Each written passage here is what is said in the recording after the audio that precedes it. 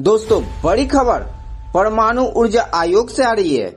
दोस्तों, आपको बता दें कि परमाणु ऊर्जा आयोग के पूर्व अध्यक्ष श्री कुमार बनर्जी का 23 मई 2021 को दिल का दौरा पड़ने से निधन हो गया।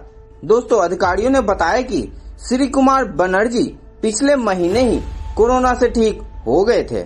आपको बता दें कि वे 70 वर्ष के थे।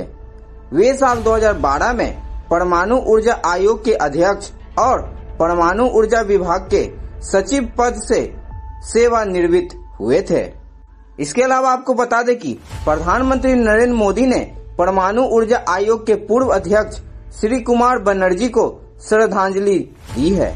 उन्होंने ट्वीट कर अपना दुख प्रकट किया है। प्रधानमंत्री मोदी ने बनर्जी के निधन पर शोक व्यक्त करते हुए कहा कि वह एक उत्कृष्ट संरक्षक एवं संस्था निर्माता भी थे।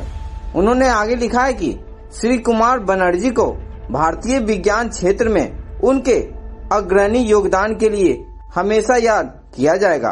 खास तौर पर परमाणु ऊर्जा एवं धातु विज्ञान के क्षेत्र में वे एक उत्कृष्ट संरक्षक एवं संस्था निर्माता भी थे। उनके निधन से बेहद दुखी हूँ। उनके परिवार के प्रति संवेदना। ओम शांति।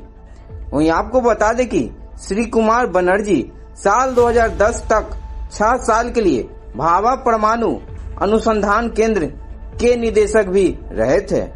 आईआईटी खड़गपुर के धातु विज्ञान इंजीनियर बनर्जी बीटेक की डिग्री लेने के बाद भाभा परमाणु अनुसंधान केंद्र से जुड़े थे और इस प्रमुख वैज्ञानिक संस्थान के निर्देशक पद तक पहुँचे थे।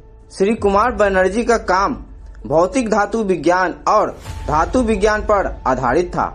उन्हें कई पुरस्कारों से भी नवाजा गया था।